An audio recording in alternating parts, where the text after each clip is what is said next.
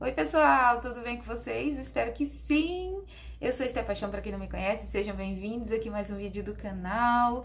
E esse vídeo é vlog, né? O vlog é onde eu mostro aqui a rotina das minhas produções aqui do trabalho, onde eu mostro algumas dicas, o que que eu uso dos materiais, né? Então tem muita coisa legal dentro do vlog. E nesse vlog eu vou deixar também no finalzinho uma mensagem para vocês que é um dos trechinhos das lives que eu faço com os alunos do meu curso lá do Criando com Paixão, que nesse momento tá vagas fechadas, mas se preparem, que provavelmente a gente vai abrir a última turma do ano em outubro. Então, quem tá aí aguardando para entrar no meu curso completo, que é do básico ao avançado, próximo mês eu trago novidades para vocês. Eu ainda não tenho a data certa, mas em outubro, lá pela metadezinha de outubro, provavelmente eu vá trazer aí nova turma. Vou abrir nova turma, tá? E aí vai ser por tempo limitado também, porque vai ser a última desse ano e eu vou focar em acompanhar a turma. O meu curso completo, ele realmente assim é bem, bem cheio de técnicas, bem cheio de informação para que todo mundo consiga aprender lá do basiquinho até a parte mais avançada. Então a gente trabalha desde os apliques, né, até a parte de peças maiores no meu estilo, no meu estilo fofinho que vocês conhecem aqui dentro do canal, com essa didática fácil, das dicas muito legais, mas acima de tudo eu ensino vocês as técnicas básicas do biscuit para que você possa desenvolver os seus próprios trabalhos, para que você possa andar com as suas pernas, né? E não depender só de uma aula ali seguindo a referência, seguindo um passo a passo, não. Passo a passo aqui a gente tem muito no canal, né? Vlogs a gente tem aqui no canal, mas no curso a gente foca nas técnicas e também tirar dúvida dos alunos, ter os momentos com eles. Então tá sendo bem bacana, a gente tá com turma em andamento nesse momento. Por isso, quem tá aguardando para entrar na próxima turma, fica ligadinho que mês que vem eu trago novidade para vocês, tá? Se vocês quiserem, vocês podem até se inscrever também no link que tá aqui, lá na comunidade do meu Instagram. Aí abaixo eu vou deixar para vocês o link da comunidade.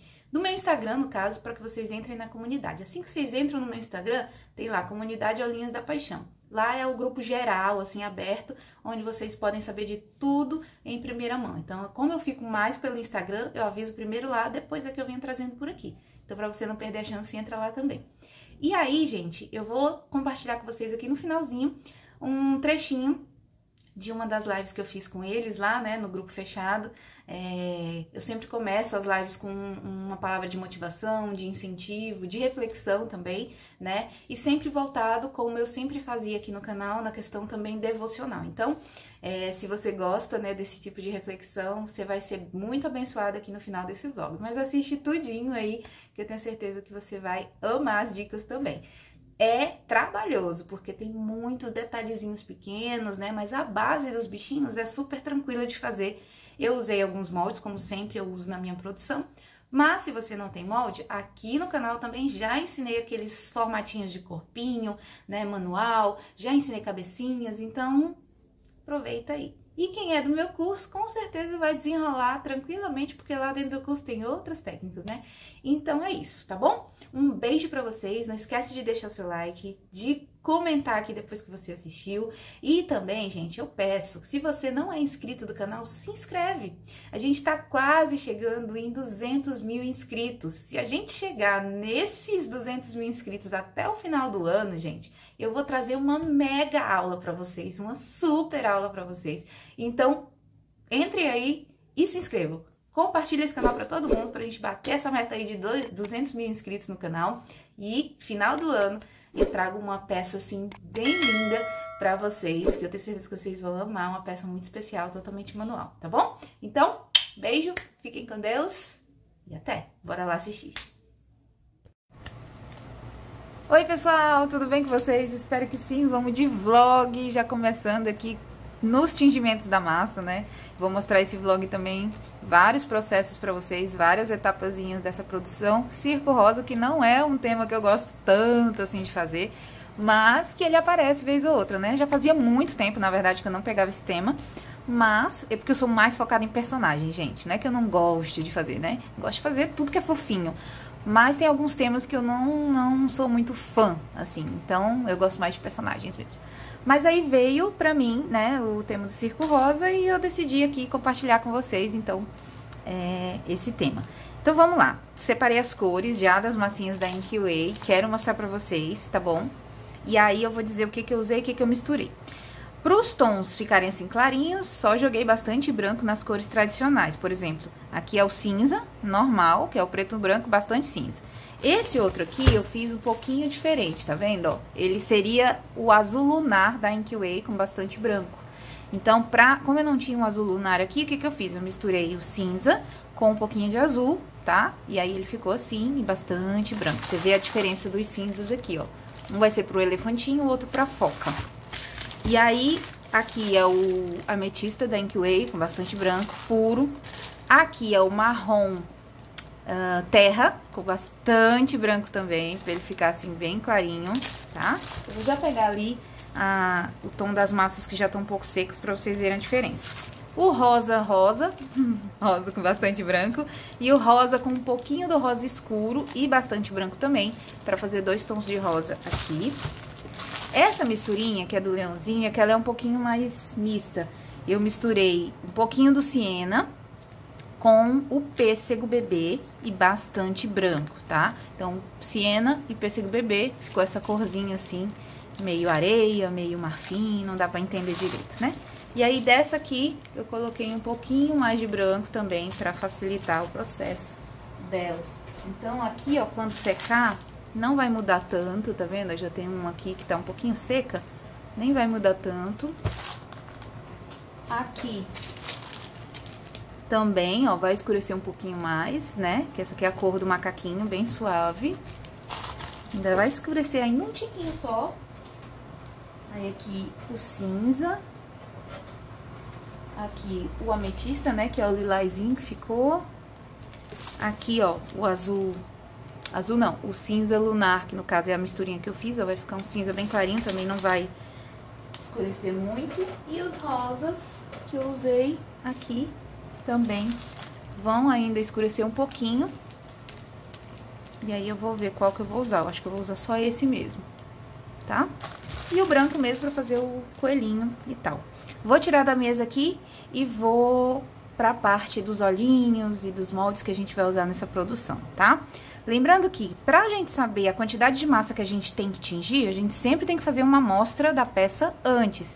Então, o que que eu fiz? Eu usei as cavidades do molde, coloquei a massinha lá do molde que eu vou usar, pesei quanto que deu da, naquela massa, né, pra fazer um bonequinho inteiro, e aí a partir daquilo eu multipliquei pela quantidade de peças que eu tenho que fazer, aí eu sei quantos, quantos quilos de massa eu tenho que tingir mais ou menos pra cada cor, né, pra, pra quantidade de peças que eu preciso. Então agora, bora continuar. Vou mostrar pra vocês a amostra que eu fiz, né, logo de início, pra mim saber quantos quilos de massa eu ia ter que pesar, como eu falei pra vocês. E também para cliente ter uma noção, né? Porque esse, tempo, esse tema, gente, faz muito tempo que eu não faço. Então, eu tenho essa amostrinha que eu tinha feito já para me saber mais ou menos o que, que eu ia usar de material. Fiz a amostra, inclusive, com a cartolinha de EVA, o lacinho de EVA, né, também. E é, a amostra foi inspirada numa imagem que a própria cliente me mandou. Porém, quando ela me manda uma imagem de outro artesão, alguma coisa do tipo assim, na maioria das vezes eu falo para ela procurar a própria artesã. Por quê? Quando tem o nome da artesã lá, se ela gostou daquela imagem, eu mando ela procurar aquela pessoa. Se ela não é, tem ali o nome da artesã, que foi esse caso, né? Eu faço a minha amostra, mostro para cliente ali o meu estilo. Quando eu não tenho a amostra no tema, né? Geralmente eu mostro outros temas que eu já tenho para ela conhecer a minha modelagem e falo para ela que eu não copio, que eu não faço igual, que nenhum artesão faz igual, por mais que ele use as mesmas cores, os mesmos temas, não vai sair igual. E daí eu deixo a cliente ciente de que eu vou fazer do meu jeitinho, da minha maneira, né? Posso inspirar nas cores da cartela que ela pediu, que é a, a cartela de cores Candy, né? Bem suave mesmo, que ela me mandou. E com base nisso, a gente vai criando e vai fazendo alguma coisa dentro do nosso próprio estilo. Então, a gente tem que ter sempre essa segurança. Eu tô falando agora para quem é iniciante, porque isso sempre acontece e vai acontecer até mesmo quando você já estiver no auge, quando você já tiver é, com seu nome firmado. Vai aparecer clientes para você que vão mandar fotos de outros artesãos. E tá tudo bem. O que não pode acontecer é você dizer que faz igual, tá? Isso você nunca vai conseguir fazer. E, e se você fizer isso, você tá realmente aí criando um problema para você. Então, não façam isso.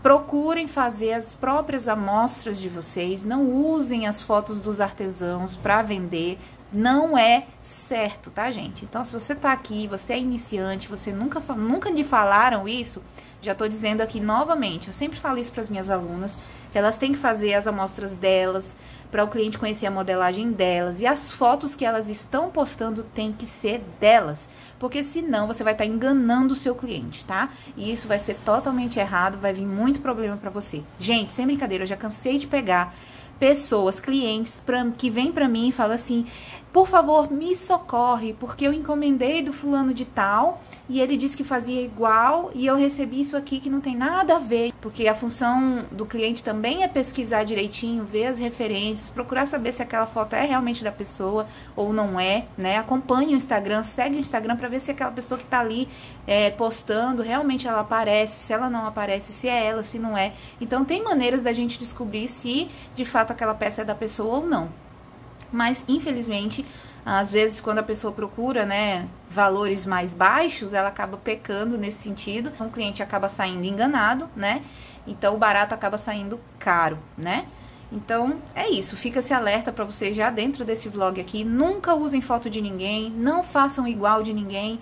Pode seguir a referência, pode seguir o tema? Claro, gente, porque é livre, todo mundo tem a capacidade de fazer qualquer tema, né? Só que tenta dar o seu toque pessoal, sempre tenta fazer do seu jeitinho, um pouquinho diferente, que com certeza você vai agradar mais clientes. Então, o que eu sempre falo e vou continuar repetindo, batendo na tecla, tentem criar as suas próprias peças, tá? Tentem dar o seu toque pessoal em tudo, porque você vai se destacar fazendo isso tá bom? E você vai ter ali uma segurança para você e para o seu cliente de que o seu cliente sabia que estava comprando exatamente de você e não uma imagem que ele viu por aí e depois ele se frustrou, tá bom? Então expliquem sempre isso para o cliente que vocês não fazem igual a modelagem que vocês estão vendo ali o cliente te mostrar, que vocês têm o seu próprio estilo de trabalho.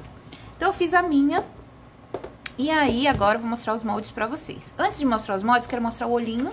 O olhinho que eu tô usando é esse aqui da minha coleção, ó. É o EP19 tamanho P, Olha, gente, ele ficou muito fofinho, né? Muito bonitinho mesmo. Então, eu tô usando aqui, ó, esse aqui. E vou usar também um de olhinho fechado da minha coleção, que é esse aqui, que é o EP026. Esse aqui eu vou usar na foca. E eu acho que vai ficar bem engraçadinho, bem lindinho, tá? Em vez de eu pintar o olhinho, como o da referência que eu vi, eu vou colocar o olhinho resinado e vou fazer do meu jeitinho. Daí, a gente vai usar aqui o seguinte. Para esse modelinho que eu fiz, eu usei um molde de corpinho sentado do Pierre, né? Que ele é bem fofinho, já vem com as patinhas na frente. Mas não são todos os personagens, não são todos os animaizinhos que eu vou fazer desse jeito. Poderia fazer, ficaria tudo igualzinho, né? Tudo de um jeito só. Mas eu não vou fazer assim. Eu vou fazer o elefante dessa maneira. Deixa eu ver aqui quais são os outros bichinhos. É o elefante, o leão a foca, o macaquinho e o coelho, né? Então, o elefante e o leão, eu vou usar esse daqui, que já sai com a patinha na frente. Pro macaquinho, eu vou usar esse aqui, que não tem o bracinho na frente, e aí eu vou adaptar colocando os bracinhos pra cima, pra tá segurando as bolinhas e tal. E a cabecinha, eu vou usar a cabecinha P da coleção da minha amiga Van, tá bom? Então, vou usar esse aqui, que eu acho essa cabecinha linda, combina muito com esses dois corpinhos, muito, muito bem, tá? Esses dois corpinhos aqui são o tamanho maiorzinho do kit. Vem um kit com dois desse aqui e um kit com dois desse aqui lá no site da Simone. É o maior do kit, tá? Então, é o maiorzinho. Aí, tem também um moldezinho do Hugo, que é de foca, que vai ajudar bastante. Já vem marcadinho o rostinho aqui, ó. Já dá pra montar a foquinha bem direitinho e ele vem com uma cartolinha, acho muito fofinha a cartolinha que vem aqui. E eu não vou usar cartola, provavelmente, mas eu vou usar a foca, tá? E quero mostrar pra vocês esse outro, que é uma opção também, caso vocês não tenham nenhum desses aqui, esse aqui já é completo, que é o do Hugo, tá? Então, é bicha, o bicharada do Hugo. Ele já vem um cabeção e um corpinho, só que é totalmente diferente a modelagem desses. Então, é por isso que eu falo, vai muito do gosto da pessoa, do seu estilo que você gosta de modelar, né? Que você se identifica, e aí você vai dar o seu toque pessoal. Essa cabeça, ó, é maior zona do que essa aqui. Então, esse boneco aqui fica bem maior do que esse que eu fiz. Esse é um padrão que eu uso para lembrancinhas de caixinhas de 5 centímetros, 6 até 7 mais ou menos dá pra usar esse daqui, fica bem bacana. Então, eu uso ele, tá? Então, por isso que eu tô usando essa cabeça com esses corpinhos pra ficar um pouquinho menor. Agora, os detalhes daqui eu vou usar muito, gente, porque esse molde do bicharada do Hugo tem todos os acessórios, ó. O rabinho que eu vou usar no leão, tem aqui o focinho que eu vou usar no leão, né? Tem a tromba do elefante, tem as orelhinhas que dá pra usar pro coelhinho, né, aqui, ó. Então, gente, ele é muito bacana esse molde, tem vários detalhes, tem a, os bracinhos que eu vou usar pro macaquinho, que combina com esse corpinho, tá? Então, dá pra fazer várias adaptações aqui, vários bichinhos e tudo. Tem a parte da juba, mas a juba eu não vou usar daqui, eu vou fazer do meu estilo mesmo. E aí, a gente vai fazendo essas adaptações, lembrando sempre que o molde não faz o trabalho sozinho, né? Não é só tirar a cavidade do molde, você tem que saber modelar, pelo menos o básico aí no biscuit, tá bom? Para você mexer com o molde e saber dar aquele toque carinhoso ali nas suas peças para ela ficar perfeitinha, sem nenhuma marcação reta, né? Você deixar tudo arredondado, tudo perfeitinho, tá bom? Então, vamos lá para o nosso vlog. Algumas partes eu sempre dou ali aquela corridinha porque é um vlog, não é passo a passo, tá bom? Mas tem muitas dicas sempre. Então, bora lá começar.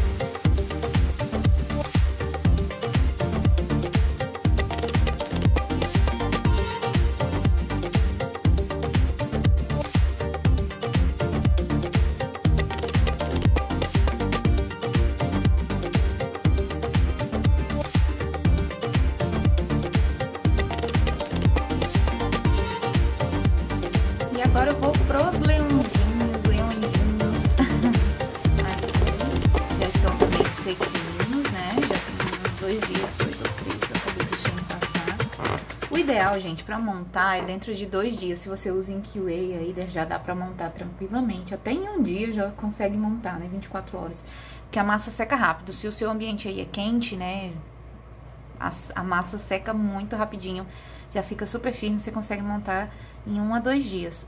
Mas não é só isso, né? Tem os acabamentos, tem os detalhes que a gente vai colocando tudo depois. Então, aqui nessa fase eu tô furando, né? Tô furando e colocando os arames, que foi o que eu fiz também lá com os macaquinhos, com as foquinhas e tudo mais. Então, eu vou cortando o arame, né? Vou fazendo aí todo esse processo em cada peça. Então, é demoradinho mesmo. Mas eu acho que a parte mais demorada mesmo desse tema circo são os detalhes das fitas e dos lacinhos e do, da pinturinha e etc, né? Mas vamos que vamos. Então, eu tô aqui só unindo mesmo... Na maioria das vezes, quando já tá sequinho assim, eu uso a cola instantânea, que é mais prático. Mas vocês estão vendo que é, eu uso a cola instantânea para pregar dentro aqui, ó, para ele não sair mais. E na hora que eu empurrar, esse arame não descer, né? Então, eu vou colocando, deixo lá um pouquinho, para ele não descer pra cá e não aparecer lá embaixo. Agora, eu tenho que colocar a juba, tenho que colocar os narizinhos, né? Tem que pintar os cílios. Então, todas essas etapas aqui também são demoradas. E aí, por isso que no vídeo eu não vou deixar vocês esperando. Já vou para as fases seguintes. E aí, ó, no primeiro dia eu já tirei todas as cabecinhas e os corpinhos. São 10, mas eu fiz mais um pouquinho. Também fiz as bolinhas. Bolinha, eu cobri a bolinha 25 com hum, a massinha bem clarinha e passei o pozinho da Ceramanil, que é o Safira Camaleão, que ele é tipo um furta-cor também. E fica bem delicadinho pra depois a gente conseguir colocar aqui, ó, no narizinho delas, tá? Eu deixei, tô deixando elas darem uma ressecadinha, pra depois eu colocar um arame aqui no nariz, como tá vendo aqui, ó, pra encaixar a bolinha, né? Aí ela vai ficar perfeitinha assim. E aqui ao redor vai ter uma, um babadinho de fita pra ficar bem charmosinha. Então ela tá bem engraçadinha, né? Tá bem bonitinha. Super facinho de montar, gente, com esse molde. E o formato também, pra quem não tem molde, é muito simples, né? Bolinha, coxinha, faz a cabeça. Bolinha, coxinha, longa, faz o corpo. Acabou, né? Bota os, os detalhezinhos e tá feito. Tá bom? E vamos que vamos. E deixa eu mostrar pra vocês, então, como que tá começando aqui a produção, né? No primeiro dia eu fiz as focas e as bolinhas cobrir aquelas bolinhas maiores ali que vão ficar nas macaquinhas. No segundo dia, eu vim pra parte dos leõezinhos, né? Já tô aqui, deixei o corpinho já pronto. Esse aqui é bem, bem tranquilo de fazer, né, gente? Porque já sai com as perninhas na frente e tudo. Só que o macaquinho não, o macaquinho deu mais trabalho.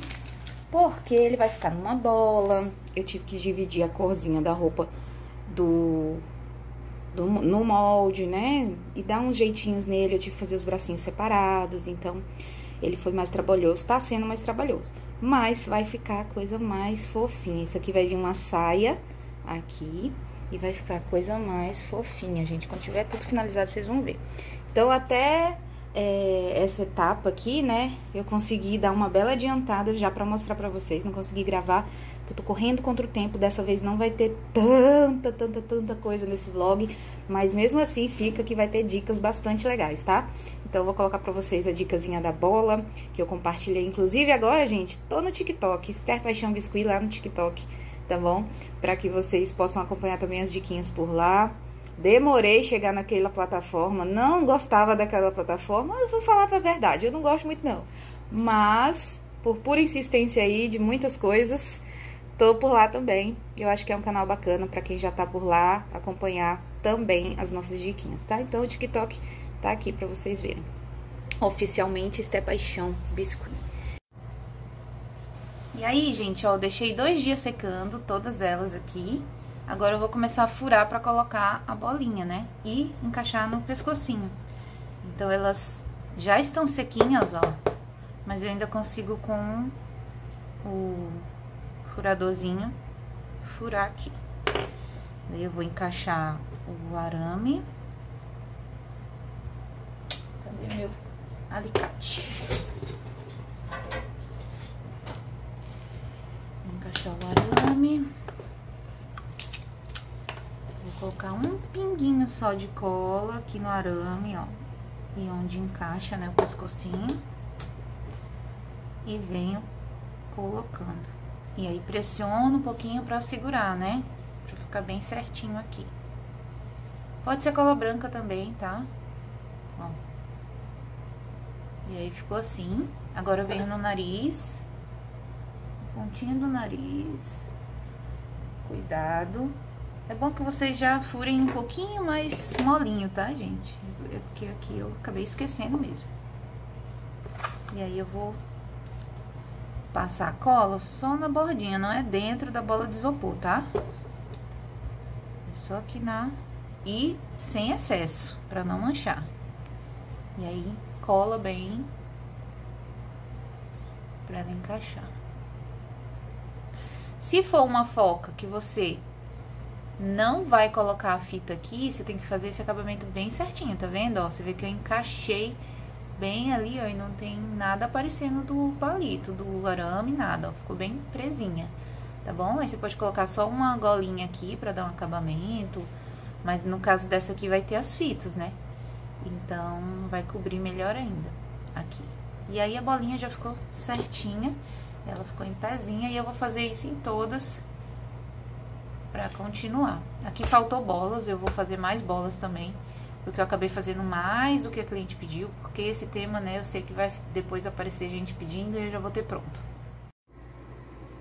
E aí, gente, na primeira amostra eu já fui vendo o que, que eu ia precisar, né? Olha o tanto de coisa que vai nessa peça. Como eu disse, é a primeira vez que eu faço esse tema dessa maneira e eu achei bem trabalhosinho, viu? Então, tem que alinhavar todas as saias, né?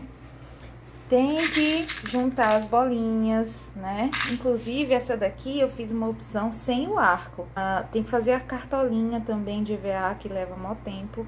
Então, é um trabalhinho bem demoradinho, tá? Ainda nem pintei aqui, ó.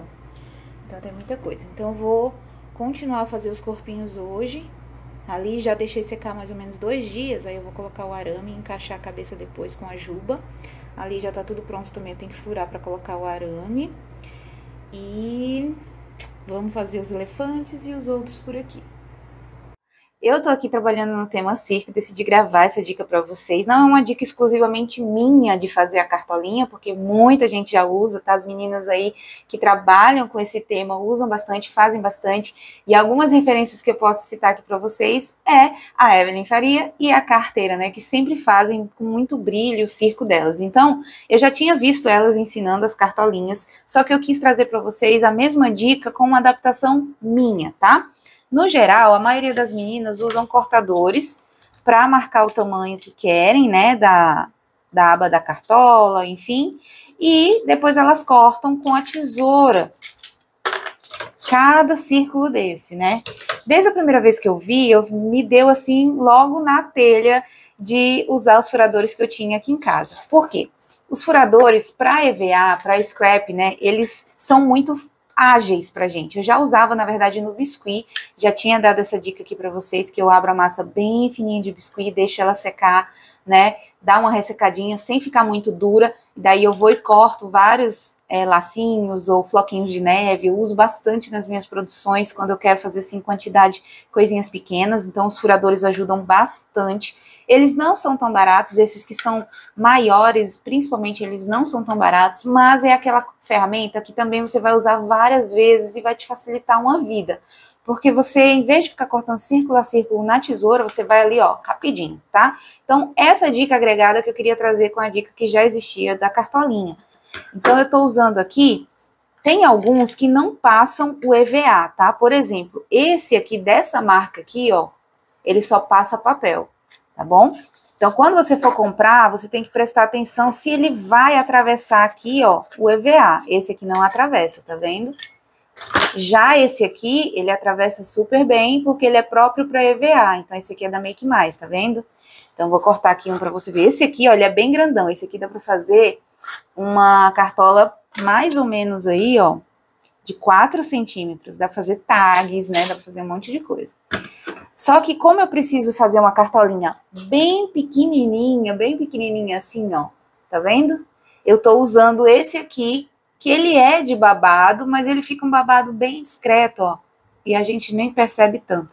Então, eu vou usar esse daqui. Eu não sei qual é a marca desse, mas quando você for comprar, procura por cortador de EVA, porque aí ele vai, né, pegar aqui bem certinho no espaço. Então, eu tô usando EVA fininho, tradicional, e com glitter, né? Então, eu venho aqui, ó, gente, praticidade, né? Aqui, sem tamanho, sem tamanho, né? Então, eu venho aqui, ó.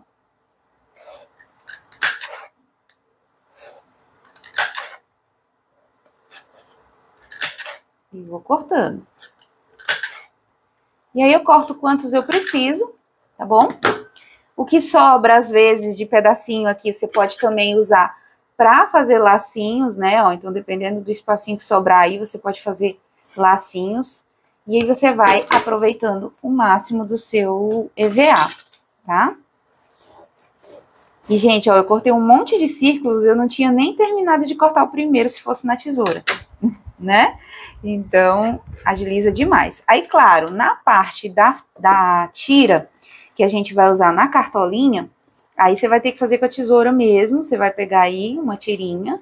Deixa eu ver aqui o tamanho que eu vou usar para essa, porque essa aqui é bem pequena. Bem pequena mesmo, tá? Ó. Ela vai ficar bem estreitinha aqui na hora de colar. E aí, ó, a gente vai cortar aí cerca de uns 3, 3 centímetros, um pouquinho para fazer a cartolinha, tá? Por um centímetro mais ou menos na espessura aqui, ó. Uma um, 1.2, alguma coisa assim. Pra colar, você pode usar cola quente, tá? Pistola de cola quente, ou a cola instantânea, ou a cola de silicone. A diferença vai ser a rapidez da colagem, tá? Então, por exemplo, a cola quente, você passou ali, grudou, acabou, já, já, já tá no ponto, né?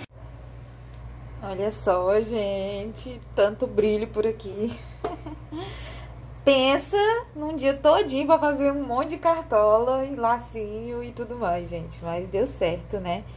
É, ficou bem fofinhas mesmo. A parte de trás, às vezes, nesse EVA aqui, no rosa, eu percebi que ele solta um pouquinho. Então, alguns eu vou deixar pra pra lá e não vou usar, vou deixar os mais bonitinhos. Já esse outro aqui, gente, ele fica perfeito. A qualidade do EVA também é muito importante. Então, esse daqui eu comprei na loja americana num pacotinho que tinha só uns recortes, né, de EVA. Já esse aqui o Eduardo comprou pra minha folha numa papelaria mesmo, e provavelmente esse aqui é o da, da Make Mais. Ele é lindíssimo, ele é mais clarinho e ele é bem durinho, sabe? Esse aqui, quando a cola pega nele, ele solta o, o, o rosa. Mas esse aqui não. Esse aqui não solta de jeito nenhum. Quer ver? Eu vou ver se pega aqui um pra vocês verem. E ele vai saindo aqui na minha mão, o rosa. Às vezes sai um pouquinho. Se pega a cola, ele sai. Já o rosa claro também, ele é ótimo. Só que no caso do dela, não dava pra ser tudo muito clarinho. Porque os personagens, né, os, os animaizinhos já eram clarinhos.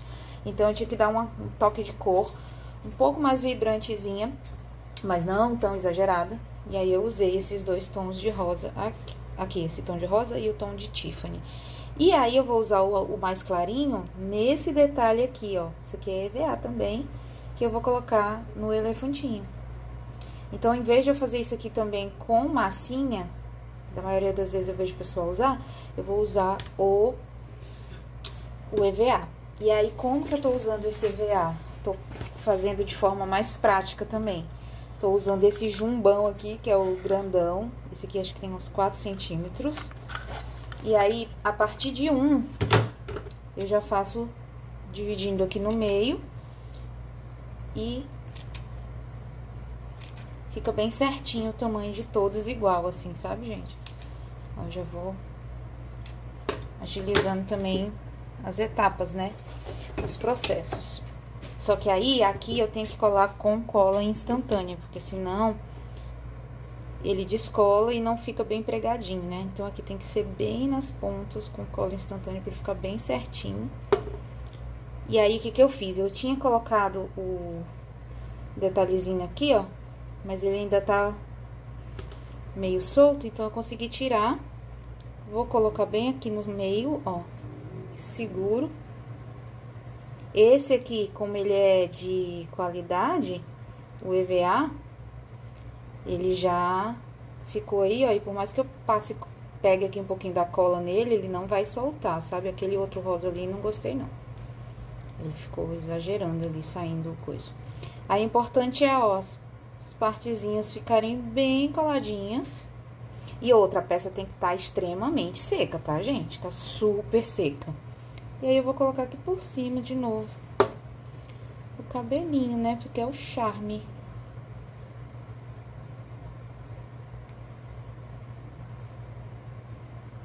Poderia deixar sem? Poderia. Mas eu quis fazer assim. Eu achei que ficou bem lindo. E aí, eu fiz quatro com o olhinho aberto e quatro com o olhinho fechado. Eu amo esse olhinho fechado, gente, da Primor. Não, não, não largo nunca mais esse olhinho, que é esse aqui, né? É o EP026. Eu, já tá acabando minha cartela. Fiquei apaixonada e muito mesmo, assim. Então, ficou muito fofo, né, gente? Muito, muito fofo. Fica perfeitinho. Toma cuidado pra não vazar, né, o a cola instantânea. Meus dedos estão todos colados? Estão. Mas depois eu vou eu vou aproveitar e limpar, né? Depois sai facinho, você pode esfregar com um pouquinho de sal, água, depois você lava com sabãozinho em pó, detergente, enfim. Tá novo, tá bom? Então é isso, eu tô finalizando aqui. Vou ainda colocar, inclusive, a fita, né?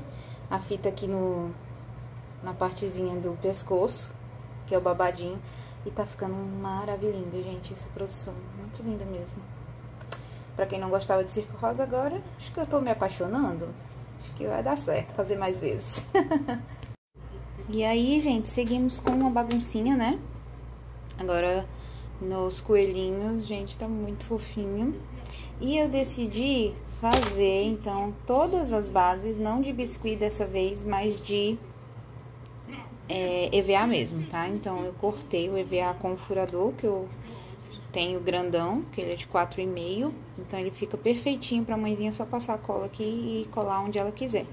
E fica super delicado, né? E eu não tive que perder mais um dia fazendo bases, nem nada. Dessa vez eu quis adiantar mesmo e combinou, né? Não é todo o tema que combina com a base de EVA. Mas esse daqui combinou, então achei que ficou bem fofinho mesmo, gente. Bem fofinho mesmo, né? Uma gracinha. E aí eu vou terminar de colar tudo. Vou terminar também de colocar os, os babadinhos nas foquinhas. E isso aqui vai o dia todinho, porque só pra franzir aqui, gente, demora demais, né? Mas vamos que vamos. Já cortei mais aqui lacinhos também com o furador. E aqui facilita muito, porque aqui no, no caso do coelhinho já coloquei todos amarelinhos pra ficar bem legal. E aí, por último, vou mostrar pra vocês como ficou completo. Então, esse vlog não é tão grande dessa vez, porque eu realmente tava correndo pra terminar. Mas eu queria mostrar pra vocês algumas etapazinhas e é isso, vamos que vamos. E agora sim, tudo prontinho. Olha só que produção maravilhosa, gente, que ficou. Ficou linda demais. E aqui é a quantidade que a cliente pediu, mas eu fiz bem mais do que pedido, na verdade. Tá na outra mesa, porque agora eu quero deixar algumas peças de temas mais corriqueiros à pronta entrega. Porque eu não tô dando conta, então pra mim tá sendo melhor deixar algumas peças quando aparece o cliente já tá pronto, né? Essa daqui, inclusive, é um tema que eu sei que sai pra muita gente, mas pra mim eu não tinha feito ainda completo assim, pra deixar pronto entrega, então agora vai ter. Deixa eu mostrar de pertinho, então, aqui. Olha só a foca, gente, que coisa mais linda que ficou, né? Ela ficou muito fofinha, muito lindinha, simples, delicada, né? Ficou maravilhosa. O leãozinho que na verdade não era para ter cílios, porque é um leão, né, gente? Mas a gente coloca o pedido da cliente, ficou assim, um leãozinho com cíliozinhos bonitinho. Aqui, a elefantinha eu fiz de dois tipos, o com olhinho aberto e o olhinho fechado também, então eu amei demais. Vocês notem que eu coloquei os detalhes de EVA, né? Tanto aqui, ó, para facilitar na cabecinha, quanto na base, né? Então, a base é de EVA, em vez de eu fazer de biscuit, eu fiz dessa vez de VA, porque combina muito com o tema. Fica fácil da mãezinha colar onde ela quiser também. E aí, fiz o coelhinho, que tá uma gracinha também esse coelhinho, gente. Que bonitinho. Olha só. Muito fofinho, muito fofinho mesmo. Eu amei essa produção. Mas a minha preferida é a macaquinha, gente, porque olha isso. Olha que coisa mais linda, né? Então, é a macaquinha. Coloquei o rabinho dela atrás também depois. A saia de fita, base de EVA, cartolinha de EVA, ó. Gente, muito linda, né? Fala sério. Olha coisa mais chique. Coisa mais fofinha desse mundo. Acabamento lisinho, perfeitinho. Então, ela ficou perfeita. E aí, eu fiz a combinação de cores, né? Com base no que a cliente me mandou. E sempre assim, ó. Um azul. Azul, no caso aqui não é azul, tá, gente? No vídeo pode parecer azul, mas é um turquesa. Então, turquesa e o rosa, que é um rosa um pouco mais... Ai, não sei que tom de rosa é esse, gente. É tipo um rosa antigo, ou um rosa que não é rosa-rosa. Vocês veem a diferença aqui, né. E ele é lindo, lindo, lindo, lindo, lindo, lindo. E, e aí eu aproveitei uma de cada pra completar meu portfólio desse tema, porque eu já tinha feito as bonequinhas antes, né, um tempo atrás. Tinha feito já as bonequinhas, cabeça da Nutella, inclusive a cabeça da Nutella aqui é com aquele molde novo de rostinho, né? E aí eu aproveitei, fiz também a girafinha, que não tinha no pedido da cliente, mas eu fiz para o meu portfólio aqui. E deixei os outros aqui junto com os que eu já tinha para completar a coleção. Então, olha, gente, que gracinha. Aí esse daqui eu coloquei na basezinha como se fosse de um picadeirozinho, né, também. Coloquei a velhinha do lado da macaquinha aqui para fazer uma caixinha cenário. E ficou assim, né? Ficou o kitzinho completo, maravilhoso. E aqui no finalzinho eu acabei colando uma bolinha também para dar um charme. Então é isso. Espero que vocês tenham gostado desse vlog. Ficou encantador, né, gente? Muito encantador. E agora a gente vai para uma palavra aí que eu tinha feito é, uma reflexão com o pessoal lá do curso. Lembrando que em outubro aí, provavelmente a gente vai abrir nova turma do curso Criando Compaixão, que é o curso do básico ao avançado. Quem tiver interesse, fica ligado aqui no canal, próximo mês. Em todos os vídeos eu vou estar tá falando um pouquinho. E daí, quando abrir vagas mesmo, vocês vão saber, tá bom? Então, bora lá. Você tá aí, Josilma, Jaqueline, isso, Jaqueline. a Sinara, quem mais? Como é que vocês estão, gente? No final da semana já? Espero que vocês não estejam igual eu. Vocês nem imaginam essa carinha aqui, tá só arrumada. Mas o corpo tá exausto. Fernanda tá aí, a outra Fernanda também. Tudo bem com vocês, gente? Espero que sim. Hoje a nossa live, eu decidi entrar aqui, gente, hoje para conversar com vocês um pouquinho, tanto da turma 1 quanto da turma 2, né? A turma 2 ainda não consegui reunir o pessoal para ver o rostinho de todo mundo, reunir só uma vez, né? Alguma das meninas, mas ainda tem gente que eu não conheço. Temos um Joel entre nós também na turma 2, que quero muito conhecer, vendo no vídeo. E e aí a gente vai ver outros, outras datas, outros momentos para ver se a gente consegue fazer isso pelo Zoom ou pela, pelo Google, Google Meet, né? Que chama Google Meet. Tá bom? Tá tudo bem aí, né? Com vocês? Gente, como é que como é que tá a motivação de vocês hoje? Sincerona, assim. Sincerona, como é que tá? Como é que tá sendo o curso para vocês? É, vocês estão conseguindo focar nas aulas? Vocês estão conseguindo fazer as peças das aulas? Quanto tempo vocês estão conseguindo tirar na semana para dar uma olhada no curso e fazer? Podem ser sinceros, não sem julgamento aqui. Quero saber de verdade como é que está sendo aí para vocês, tá? Sem desculpa. Sem desculpa. Fala a verdade, tá? O que que tá, tá rolando aí com vocês? Quero saber. Isso vai fazer toda a diferença no que eu vou falar aqui hoje também, tá? Por isso que eu preciso da, da resposta sincera de vocês. eu quero começar hoje essa live, assim, depois as meninas forem chegando, vão acompanhando ou assistem do, do começo, para a gente não demorar muito. Mas eu tenho duas coisas que eu queria falar com vocês. Primeiro, eu gosto sempre de trazer aquela leve reflexãozinha, né? Vocês sabem. Porque a gente trabalha muito durante a semana, a gente tá ali naquela correria o tempo todo. E raramente a gente para um pouquinho também para cuidar da motivação, cuidar um pouquinho da mente, né? O que não é para ser, é para a gente fazer isso todo dia um pouquinho, né? E eu falo muito disso para quem faz devocional isso é essencial. Mas para quem não faz, por exemplo, é, tem que buscar então outras maneiras aí de tentar fortalecer uma, a parte da alma, né? A parte da mente, para que você não se esgote. Eu tô muito esgotada esses dias. Eu vim hoje falar com vocês assim, é, sincerona mesmo, porque eu tô bem esgotada. Como eu venho do, do começo do ano já nessa pegada dos alunos, né, e das aulas, tanto, tanto para os cursos aqui quanto para a constelação lá também, eu acabei até assim desacelerando um pouco o ritmo da constelação, porque tá muito puxado para mim, muito puxado.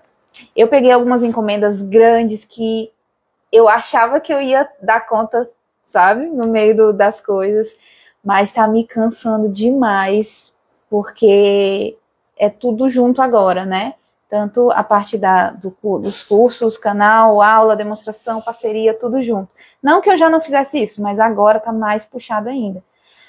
E vai chegando no final de ano, vai ter muita, muita programação na igreja também, então começa a ficar uh, sobrecarregadíssima. Essa semana, na segunda-feira, eu já cheguei assim, já, já comecei a semana esgotada. E esgotada, sabe que assim, as forças já não tinha. Mas a gente não pode parar, né? E a disciplina é uma das coisas que eu quero transmitir para vocês sempre. Porque embora a gente tenha sem vontade, embora a gente tá cansado, a gente precisa fazer o que tem que ser feito, né? E eu tô com uma encomenda aqui bem grande mesmo, assim, que eu achei que eu não ia dar conta e eu ainda tô aperreada com ela. Por isso que eu não consegui vir mais vezes aqui fazendo live com vocês. É, mas eu queria muito hoje falar com vocês sobre, sobre essa questão também da, do equilíbrio e do nosso próprio posicionamento com relação à nossa rotina, né? A administração da nossa rotina. Eu falo primeiramente para mim, né? Primeiramente para mim, porque, gente, não é fácil, eu sei que não é fácil, principalmente quem trabalha fora. Eu tenho alunas aí, né, a Lilian também, que é da turma 1, ela agora tá trabalhando fora e a bichinha quase não tá pegando no biscuit, ela fica agoniada, porque é uma coisa que ela ama. Mas é, faz parte, né? Tudo faz parte. A gente tem que ver qual é o nosso, a nossa intenção, nosso propósito, nosso foco e correr atrás disso da melhor maneira possível, né? Se no momento tem que trabalhar fora, continua mas não deixa de semear na parte do campo do biscuit se você quer algo, quer viver disso um dia, né? Então, sacrifícios a gente vai ter que fazer. Como eu sempre falei para vocês, eu, eu quando também comecei com jornada dupla, eu trabalhava e ficava madrugada modelando no outro dia para acordar de novo cedo, sair, né, passar o dia fora. Então não é fácil. Mas quando a gente está com essa empolgação, né, que a Sinara falou, a gente dá um jeito, né? A gente dá um jeitinho. E eu queria ler para vocês, hoje eu não vou ler versículo nem nada, mas eu queria ler o trecho de um livro que eu acho muito bacana, assim, eu não consegui ler esse livro inteiro ainda, mas ele fala sobre isso aqui, ó. Tempo, a agenda e o foco. Quem é, já leu esse livro, ou quem não leu, quiser procurar esse livro para ler, procurem, porque ele ajuda bastante. É um livro cristão, é um livro que vai relacionar, eu, como eu sempre falo, fé e trabalho, né? Então eu gosto bastante. E, e ele vai nos dar um, um norte sobre muitas coisas. E aí, no capítulo 1, eu queria ler essa frase para vocês, que ele fala assim, ó. Enquanto não nos posicionarmos e não fizermos a escolha, viveremos no mundo que não escolhemos nem desejamos. Olha só. Enquanto não nos posicionarmos e não fizermos a escolha, viveremos num mundo que não escolhemos nem desejamos. Entendeu? E essa questão da escolha realmente é um posicionamento. Eu escolher o biscuit para minha vida, eu preciso fazer muitas vezes alguns sacrifícios, né? E eu tô falando aqui não de você tipo, ah, não quero mais meu trabalho, vou sair, vou focar só no biscuit. Não mas que você precisa sacrificar muitas vezes um tempo que você é, poderia fazer qualquer outra coisa para se dedicar na modelagem, para se dedicar na, no, no, aprendizado, para estar tá ali todo todo aquele tempinho que você tem ali, que você escolheu, nem que seja uma hora, duas, para você de fato pegar na massinha e modelar. O curso não vai fazer você vender se você não aplicar. O curso não vai fazer você ser visto se você não executar, né? Então é aquela coisa, o curso pode ser completinho, né, do começo até o fim, mas se o seu posicionamento de não colocar em prática não fluir, você não vai ver resultado, né? E essa questão de posicionar e fazer escolha é justamente para a gente poder um dia viver aquilo que a gente de fato escolheu, né? É isso que a frase falou aqui. Se a gente não faz uma escolha, se a gente não se posiciona, tudo fica do mesmo jeito. Eu vou continuar na mesma rotina, eu vou continuar fazendo as mesmas coisas, eu não vou ver progresso nenhum, né? Então, muitas vezes a gente precisa dar uma pausa assim e pensar, poxa, o que, que eu posso melhorar agora, né? O que está faltando para mim? Eu estou desmotivada por quê? Eu estou desanimada por quê? Será que eu estou realmente assim no caminho certo? Não estou? A gente tem que questionar essas coisas. Será que eu quero realmente o biscuit como venda ou eu vou continuar ali como hobby, aprendendo aos pouquinhos, trabalhando de fato ah, na hora que eu preciso, na hora que eu quero? Isso é uma escolha. Se você escolher fazer do biscuit de fato um, só um hobby ou uma segunda opção de trabalho, tudo bem, a escolha é sua e você tá certíssimo em escolher o que você quiser. E aí você vai se dedicar naquele tempo que você tem. Mas se você quer fazer do biscuit um dia, a sua meta como você para você viver dele, para você viver do artesanato, sustentar a sua casa, para você de fato é alcançar os seus objetivos, seus sonhos, realmente precisa ter ali um posicionamento mais firme, uma escolha mais firme e sacrifícios a fazer. E aí entra a questão da disciplina, né? Que nem eu falei para vocês, eu comecei a, a semana extremamente cansada extremamente cansada, mesmo assim, que eu não tinha. Vocês viram que eu apareci bem pouco nos stories essa semana, né? Eu apareci porque eu fiz a live lá que eu tinha sido convidada e tudo, e fui postando uma coisinha ou outra, mas, gente, não consegui, né? Porque eu tô realmente muito focada aqui no que eu preciso terminar e falta muita coisa ainda. Mas a disciplina tá aí. Tem que fazer, tem que fazer. Fazer o quê? Né? Peguei o compromisso, agora se vira, não é isso? Então, a disciplina é muito importante e as nossas escolhas é que fazem realmente diferença, né? E aí tudo tem questão de equilíbrio também, tudo tem questão de, de a gente não, não se acomodar, né? Não se acomodar. Por isso que eu comecei perguntando como é que vocês estavam, sinceros mesmo, assim, sinceros, o que, que vocês estavam sentindo, se estava desmotivado, se, se realmente está sendo difícil, o que está sendo mais difícil para vocês nesse, nesse início, né? Nesse começo aí ou para quem já, já terminou o curso, por exemplo, o que está sendo mais difícil? Falem para mim, agora, nesse momento para vocês. É conciliar a rotina? É o quê? Né? Então, assim, eu acho que conciliar a rotina é uma das coisas mais difíceis, realmente, mas não é impossível. É aquilo que eu falo para vocês, não é impossível. Dani, estou sentindo sua falta demais, Dani. Demais. Pensei em você ah, esses dias todinho aqui. Tava querendo que você aparecesse na live mesmo. A Dani é da turma 1, gente, tá? Ó, a Sinara falou assim, ó, isso, trabalho durante o dia todo, só estou tendo tempo à noite para me dedicar ao biscuit, mas estou conseguindo fazer e vender também. Na minha primeira venda foi de quatro potes de bolachas. Olha só que bacana, né? Que bacana. É isso, sabe? É isso, é a, é a empolgação, a garra e a determinação de vocês.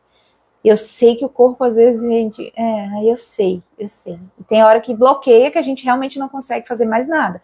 Aí tem que descansar, tá? Tem que descansar mesmo. Mas se todo dia você pegar um pouquinho na modelagem, você vai melhorando, vai ampliando, vai criando portfólio, vai fazendo tudo que tem que fazer até né, começar a colher. E, já, e a Sinária já, já tem encomenda, e ela é da turma 2 aí, tá com pouquíssimo tempo no curso, né?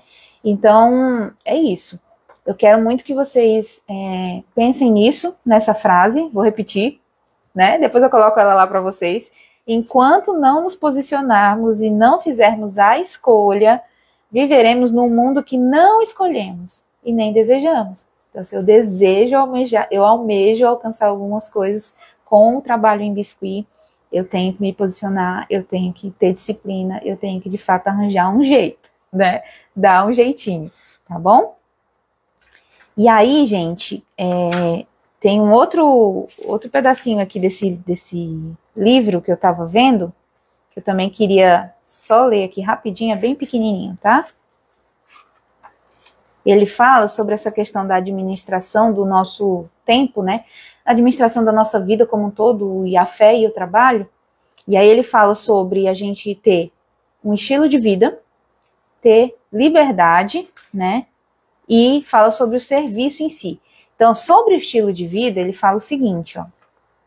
A primeira coisa que você precisa decidir como administrador do seu próprio negócio, né, é o estilo de vida que você quer ter, né?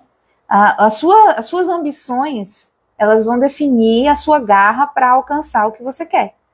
Se as suas ambições não são altas, e aqui eu tô falando de ambição não no sentido de ostentação, não no sentido de, tipo, porque tem pessoas que, né, entram nesse ramo achando que vai ganhar milhões de dinheiro logo no primeiro mês, né?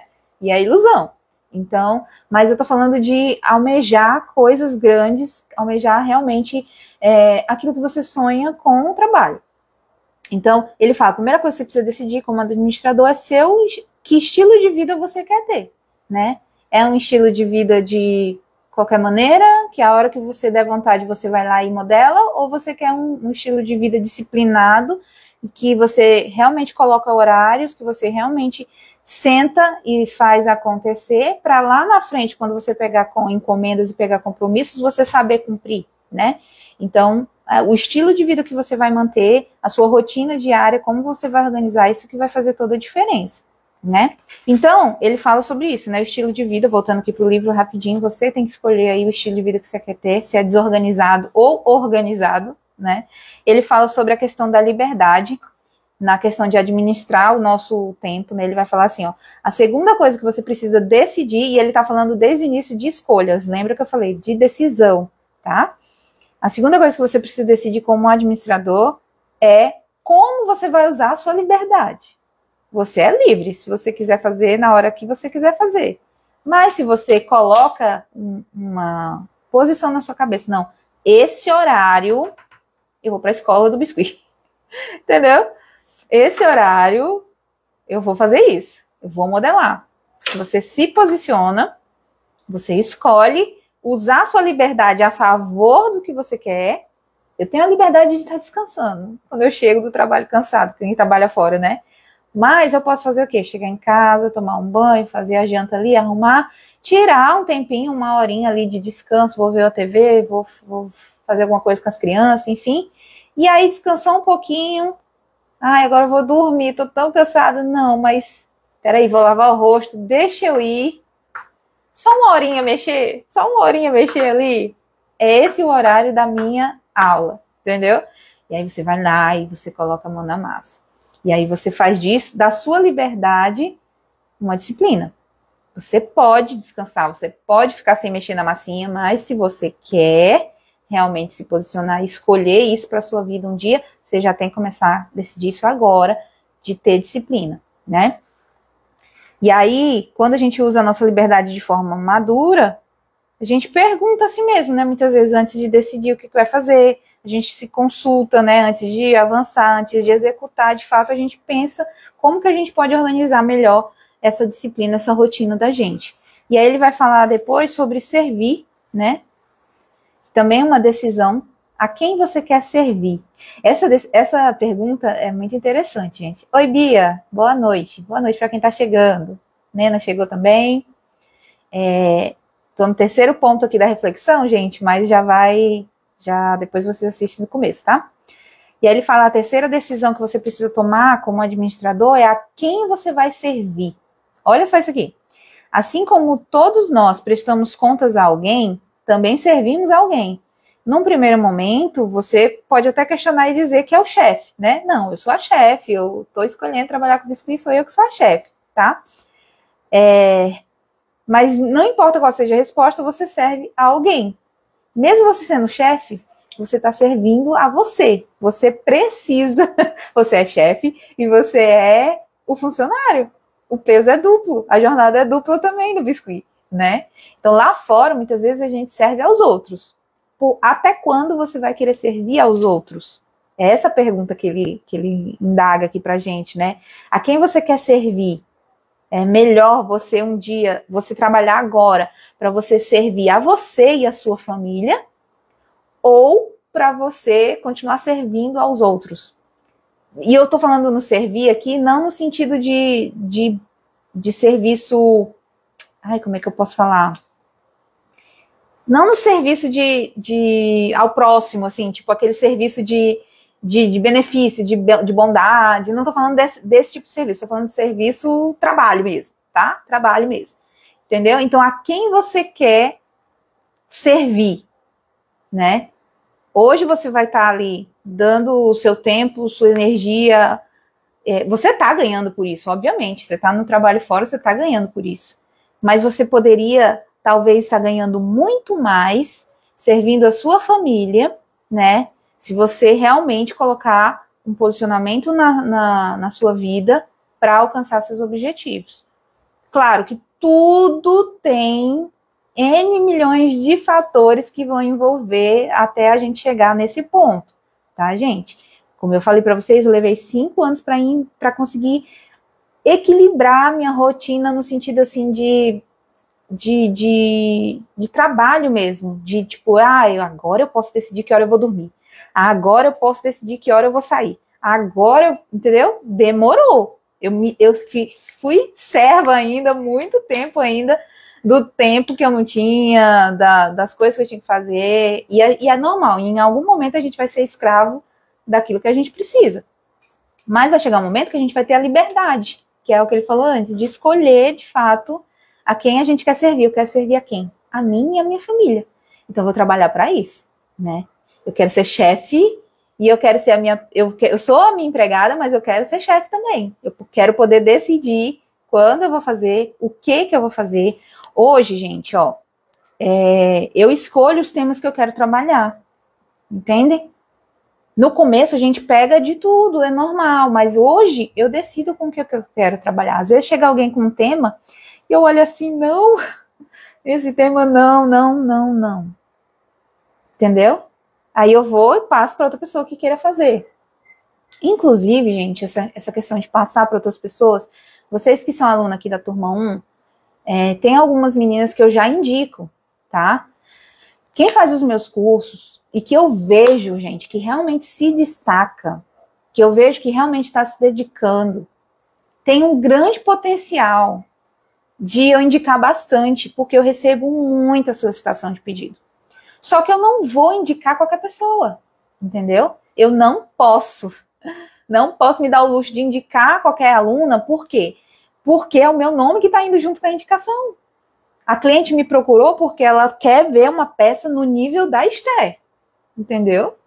E aí, se eu encaminho para outra pessoa, para uma aluna minha, por mais que eu sei que ela não faz igual e eu explico para a cliente que ela não faz igual, mas se eu vejo que a pessoa é uma pessoa que faz uma modelagem que realmente ela se dedicou a fazer aquele acabamento perfeitinho, que está realmente ali no agrado dentro daquilo que eu já conheço que a cliente quer e que é uma pessoa que consegue administrar todas as outras áreas da vida dela também, aí eu consigo indicar.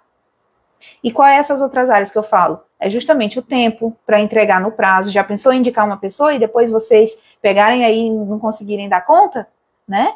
Aí quem fica na reta sou eu, porque eu indiquei, que coisa feia que fica, né?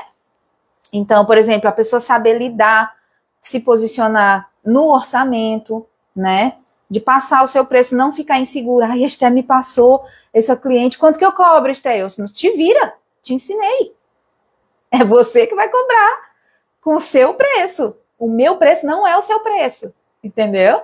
Então, você, e nem vem com essa de, ah, eu vou cobrar mais barato porque o meu é, é diferente da Esté. Não, se você faz um trabalho bem feito, se eu te indiquei, é porque você faz um trabalho bem feito, certo? Parte daí você cobre o valor justo que é para cobrar, com todos os custos envolvidos, com tudo que tem que ser feito, até porque você não ganha massa que nem eu ganho da parceria, né? Então você tem que tirar os seus custos tudo direitinho.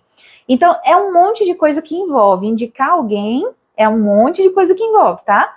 Então envolve atendimento, envolve compromisso, disciplina, tudo isso. E eu vou vendo isso no decorrer do curso com as alunas. E eu tenho já alunas do, da turma 1 que eu indico sem medo, gente sem medo. Eu não abro para dizer, ah, eu indico fulano ou eu indico ciclano, porque senão gera ciúme, né? Não quero isso. não quero, não quero desentendimentos. Mas cada um tem que entender que se você realmente se dedicar e se você realmente começar a se destacar, você tem um grande potencial de avançar sozinha, mas também com um pouquinho da minha ajuda, né? Porque eu vou estar ali sempre dando aquele apoio, sempre dando aquela força, quem passa pelos meus cursos. Mas aí, voltando, a, a última pergunta é a quem você quer servir, né? Você quer servir a sua família? Você quer servir a você? Então, começa a trabalhar para isso, tá bom? Então, a gente, a gente trouxe essa reflexão hoje à noite. Eu queria muito trazer essa reflexão para vocês sobre como administrar, né? As meninas que perderam aí o comecinho, depois assistam, tá? Que eu falei de uma frase bem interessante sobre posicionamento e escolha. Então, a gente foi falando sobre isso até aqui. Certo, gente? Tá bom? Então, um beijão para vocês. Fiquem com Deus. Um bom final de semana para todo mundo, tá? Coloca a mão na massinha e vamos que vamos. Mas é isso. Beijo, gente. Fica com Deus, tá bom? Deus abençoe todo mundo. Um ótimo final de semana e até a próxima. Tchau.